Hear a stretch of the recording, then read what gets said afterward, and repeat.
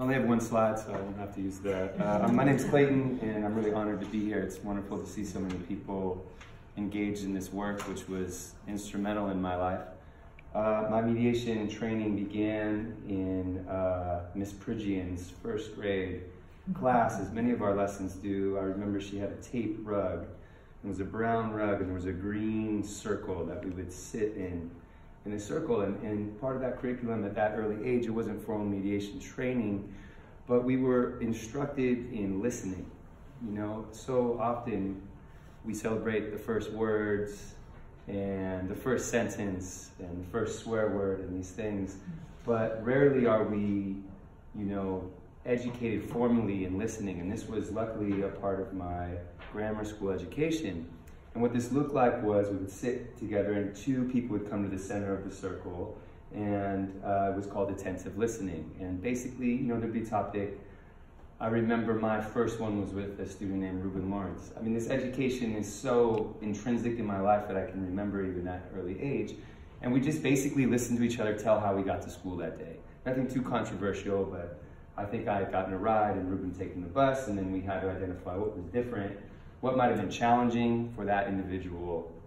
And again, the educators out there, I just have to say, and, I, and I'll talk more about my formal mediation training, is this foundational listening training to me needs to be an intrinsic part of grammar school education. We need to teach young people how to listen because then it makes the mediation process actually so much more functional. And I think for me, becoming a mediator and going through mediations it was my ability to listen um, that was taught. It was a learned skill uh, beyond just observing. I think a lot of us get our education from our families. In my family, that would have been a very dangerous proposition because we were Italian and generally the person who uh, you know got the point across spoke the loudest. and I think we're seeing the results of that now a lot today in our political climate. So that was there was not a, a peer mediation program in my elementary school, but I do feel the curriculum that was you know, aside from the academic cornerstones of mathematics and English, there was this component of listening and dialoguing, which was just very important later on. When I got to John Adams Middle School, I, I matriculated through the Santa Monica Unified School District. Uh, I um, read about mediation, and of course, my inspiration was I got in this class. I got to get this training and get out of the standard classroom. So I signed up, and the same thing. I went through a very similar process that you just heard about, um, I was interviewed by uh, some faculty and by other peer mediated students that were eighth graders, and I was a sixth grader. And I just really wanted to get in the program because I knew I could miss some classes, and I ended up being accepted. I shared that with them too. I said that's the primary motivator. But um, uh, what I remember about the training was once I was accepted, uh, we were trained for about 35 hours, I think over the course. I think there was two um, two day sessions over the course of two weeks. So we were pulled out of our classes and uh, we did the training with professional mediators from uh, a service that might have transformed into something. I think it was called Dispute Resolution Services, and it was a group of mediators in Santa Monica. And uh, the training, you know, there was all these hypothetical situations, and we'd be walked through. We'd see the adults do it, and uh, eventually we were you know, certified as mediators and confidentiality. A lot of the things you just heard were very similar to my experience. And uh, we did have to make up the coursework that we did miss, so, you know, the missed class actually turned into extra work. Right.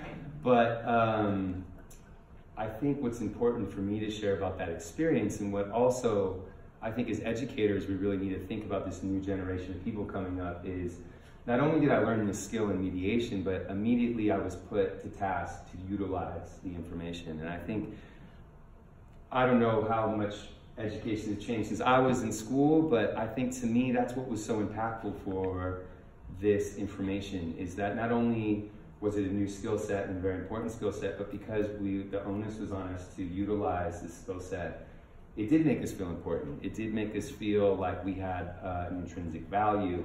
And I would really see it with the people that mediated. Again, there was always this either you could, uh, at John Adams Middle School, you could choose mediation over detention, so it became a real sort of uh, motivator for students to come in. But I think what would happen in that setting was uh, uh, not only were we empowered as, as students to mediate, but the students who were in conflict were empowered to almost discipline themselves. Because a part of our process too was like, how are we going to prevent this from happening in the future? We're having a fight, what agreements can we make today that we can walk away from?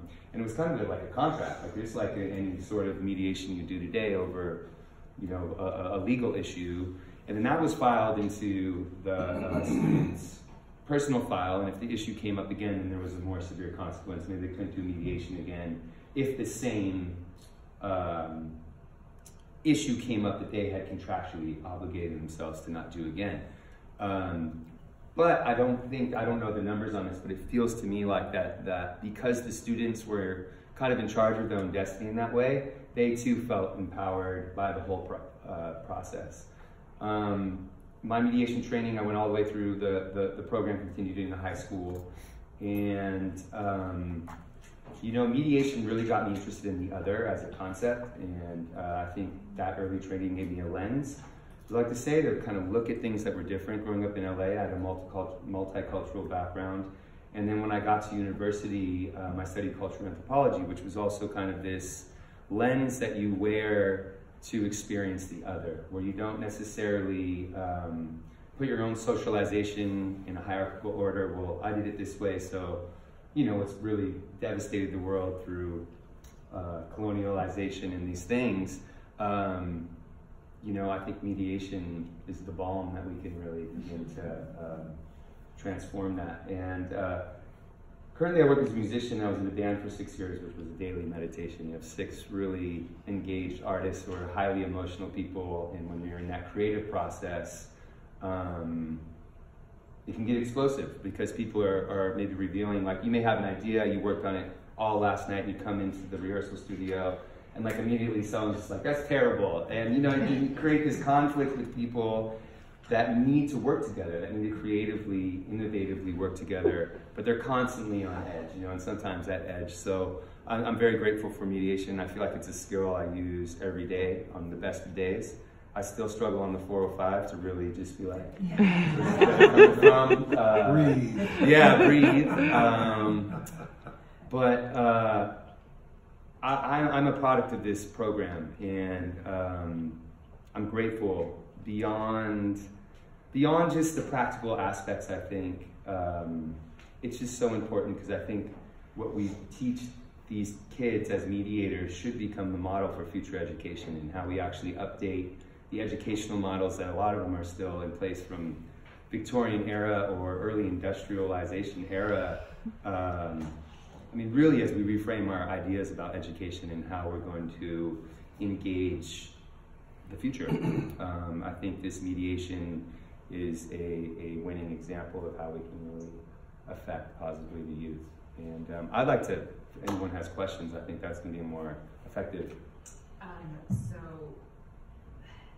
to me, it seems like this sort of concept of mediation in schools is is well received in Southern California. Yeah. Um, so as you explored the world and met with different people that perhaps didn't have the same sort of culture, how were you able to bring your skill set to different cultures and were you able to impact change through those experiences? I would say again that what, what really we need to talk about in curriculum is listening. It's such a powerful skill to just give someone space. Um, especially, I've traveled a lot. I'm, i love travel. I think it's one of the best things we can do to get into another culture.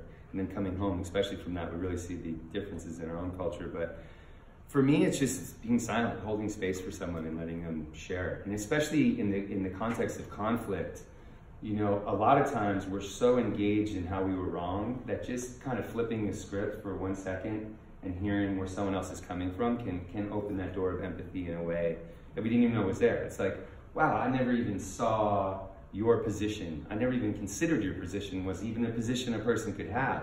And it could be something very simple like that. And I, I really do believe that just begins with training. And the good thing about a young mind is it's so pliable and we can kind of insert these like positive programs in there at a young age, like I did in first grade, that become cornerstones for how we function as an adult. As a student uh, peer mediator. How many mediations did you uh, facilitate? I hundreds, I'd say. By the time I was done through middle Wow. school and through high school, hundreds. Yeah, and, and I became a more. I mean, because also in the program, the, the students could request mediators, and I think just as as you have more success and people say like, oh, this worked really well, or you know, this guy was good, or and, and the same thing that confidentiality was really expressed. We would also lose our seat as mediators. Um, I think just you know, you kind of build up a trust like any occupation people begin to see. So I, I did a lot.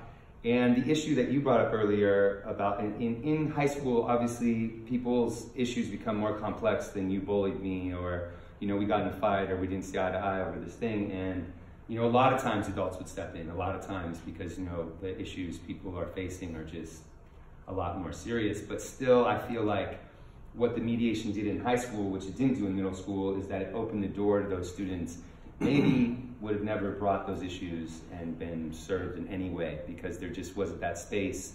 You know, if you go to an adult, I mean, we're already seeing with the Me Too movement how difficult it is for adults to share something about sexual abuse or battery. So for a student to have to go to an administrator, maybe they already don't enjoy or have some sort of authoritarian relationship, I think the peer mediation program hopefully um, opened the door to them getting help and Um, as a student peer mediator, did you see any uh, trends or any patterns of, of the types of mediations that you would do?